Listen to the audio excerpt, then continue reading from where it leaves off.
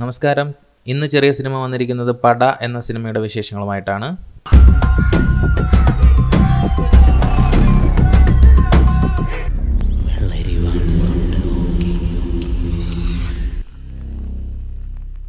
പടയുടെ teaser കണ്ടിട്ട് കുഞ്ചാക്കോ ബോബൻ ജോജു വിനായകൻ എന്നിവരുടെ ഒരു കോംബോ ഹൈ ടെൻഷൻ ഡ്രാമയാണെന്നാണ് മനസ്സിലാക്കാൻ സാധിക്കുന്നത്.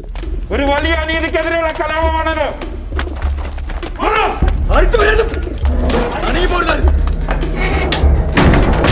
ഒരു കാലത്ത് ഐ ഡി എന്ന മികച്ച ചിത്രം ഒരുക്കിയ കമൽ കെ എം ആണ് ചിത്രത്തിന്റെ രചനയും സംവിധാനവും.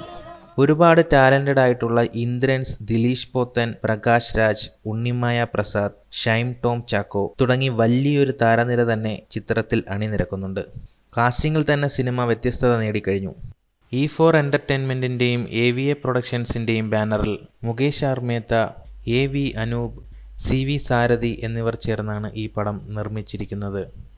നവംബർ ഏഴിന് പടം റിലീസാവും എന്നാണ് അറിയാൻ കഴിഞ്ഞത്. ഈ ചാനൽ സബ്സ്ക്രൈബ് ചെയ്തിട്ടില്ലെങ്കിൽ ഒന്ന് സബ്സ്ക്രൈബ് ചെയ്യുക. അപ്പോൾ എല്ലാം പറഞ്ഞ പോലെ.